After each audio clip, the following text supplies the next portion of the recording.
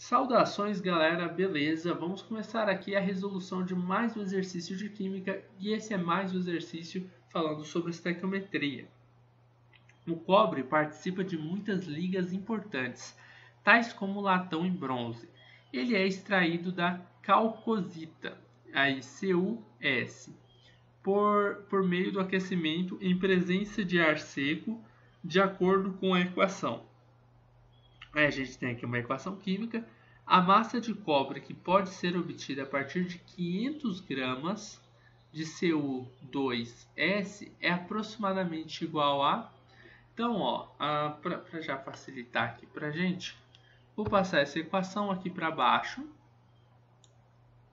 e a gente vai mexer em cima dela, tá? Vamos trabalhar em cima dela.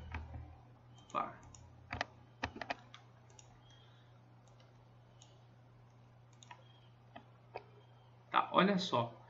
É, então, a gente sabe, a primeira coisa que a gente tem que fazer é analisar que tipo de estequiometria é essa que a gente vai fazer e se a equação já está balanceada.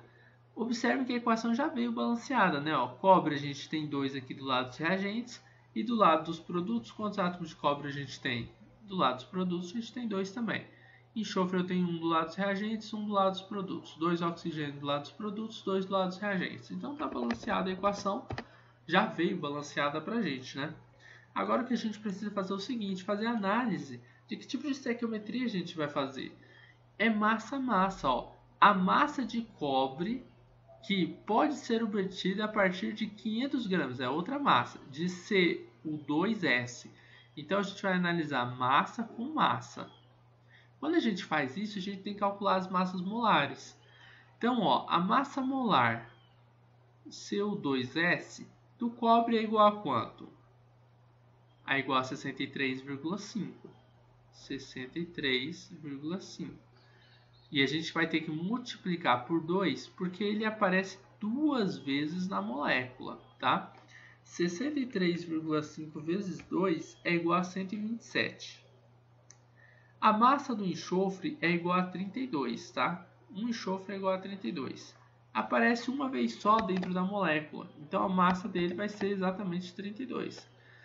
Para saber a massa da molécula total, a gente vai somar o 127 com 32. 127 mais 32 é igual a 159. 159 gramas. Eita! 9 G de grama aí. 159 gramas.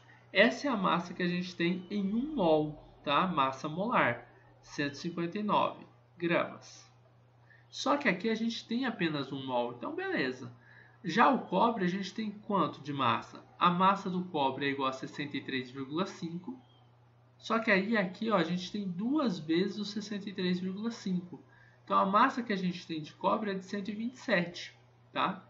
127 gramas, porque aqui a gente está trabalhando em 2 mols. 1 mol seria 63,5. Como a gente tem 2 mols aqui, a gente coloca já 127 gramas, tá bom? Com 500 gramas do seu 2S, quanto que a gente vai ter do cobre? Ah, isso a gente tem que descobrir. Com 500 gramas aqui, quanto eu vou ter do cobre em gramas? X vai multiplicar pelo 159, então vai dar 159x, que é igual a 127 multiplicado por 500. 127 vezes 500, que é igual a 63.500. Agora, o x tem que ficar isolado, então eu passo 159 dividindo, tá? porque ele está multiplicando, então ele tem que passar fazendo a operação matemática contrária, que é a divisão. 159 aqui do outro lado. Ele vai passar dividindo para o outro lado. x vai ser igual 63.500 dividido por 159, que é igual a aproximadamente aí 400, tá? Vai dar 400. Então, 400 o que? Gramas de cobre. Essa é a quantidade de gramas de cobre que a gente vai ter se a gente tem 500 gramas do CO2S, beleza? 400 gramas, alternativa correta, letra B, P de bola.